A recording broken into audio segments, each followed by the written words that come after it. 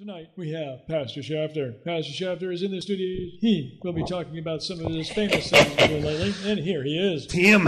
Hello, Tim. Hello, Is, Pastor. is this How are mic on? I come, Tim, tonight to talk about the Garden of Eden, Tim. What about evolution here?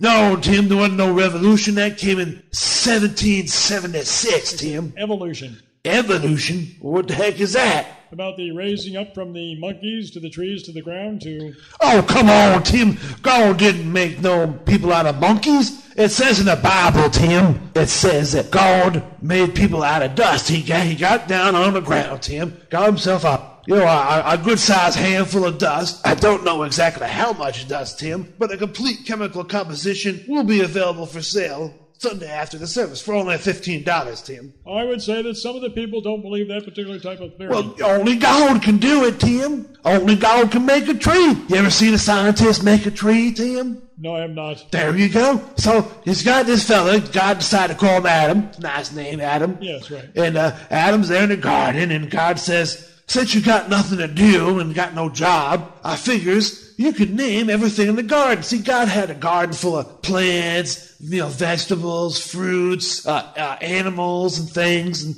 and didn't have no names for none of them. So he said, Adam, why don't you think up some names for these here animals? I don't have a complete list of all the names of the animals, Tim, that uh, Adam did name. A complete list will be available after the uh, service Sunday for only $15, Tim. If I may continue. So, Tim, uh, Adam named all the plants and the animals and stuff, and uh, and he just wasn't happy. And I said, I ain't got nobody to play with. And God said, I know what you need. You needs a woman. So God, uh, God made Adam go to sleep, Tim. Oh, you know, yeah. didn't Right. want to, uh, you know, scare him. And uh, opened him up in his chest, you know, and took out one of his ribs, Tim. That's what he did. See, he made Adam out of dust, but he made the woman out of a rib. I don't pretty strange to me. he didn't say why, Tim, but you know, it's in the Bible, so it must be true. Anyway, he made this woman and he decided to call her Eve. That's a nice name, Adam and Eve, you know.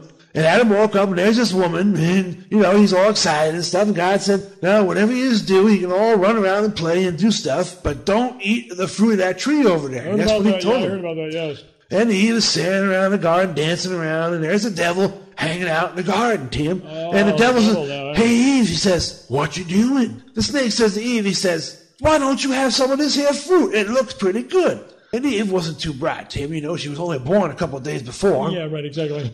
So she went ahead and ate it, Tim. And then he said, Why don't you give some to that husband of yours, too? He looks hungry, too. So anyway, suddenly there's God appearing, bolt of lightning, Tim. Yep. And he says, What you all doing eating the fruit? Well, Adam said, Well, she made me do it. See, Tim, there's always a woman getting a man in trouble, Tim. Adam had no interest in that fruit till she popped up and said, Here, why don't you try some of this here fruit? Looks pretty good. They call it the nude fruit, Tim, because it makes you realize you're naked. What exactly was wrong with the fruit, and why could you not eat it? So suddenly, Tim, God gets really angry and says, That's it. Everybody out of the pool, including you, Mr. Devil. Kick the devil out of the garden, Tim. That's what he did. And he said, Get on out there, get some clothes on, and get to work. The, uh, the moral of the story, Tim, is don't eat the forbidden fruit. If you do, you, you're gonna be sorry. That's why it's forbidden, Tim. I hope I've been helpful in this regard. Well, I got to go, Tim. Okay, The Lord has got me booked on the, uh, you know, Regis uh, show tomorrow morning. I got to get up early. There you have it, folks. Another fine episode and visit by Pastor Schaphter from.